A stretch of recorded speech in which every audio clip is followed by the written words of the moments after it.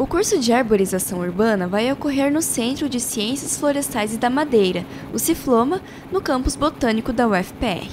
O objetivo é a capacitação dos profissionais que atuam na área de arborização. O curso ele é destinado aos profissionais que trabalham nas prefeituras, né? é, arquitetos, profissionais que trabalham com arborização urbana, tá? E também é, para quem tiver interesse, ele é um curso aberto, uma linguagem muito clara, tá? É, a Fundação de Pesquisa ela tem vários trabalhos com os municípios do estado do Paraná e isso a gente expõe dentro do curso com ênfase nas aulas práticas. Os alunos que se inscreverem aprenderão sobre os principais conceitos da arborização urbana. Conhecimento sobre árvores de risco e suas causas e diagnósticos, arquitetura das copas e porte das árvores fazem parte da ementa do curso.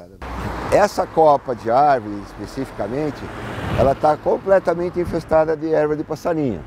O que acontece? Em dias de chuva, o peso dessa árvore aqui triplica.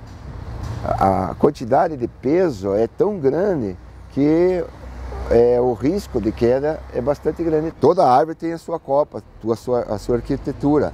Então isso é muito importante da hora de fazer o manejo, da hora de podar uma árvore. Árvores que estão no espaço urbano podem ser comprometidas por diversos fatores, como chuvas, ventanias, parasitas, obras nas calçadas e acidentes.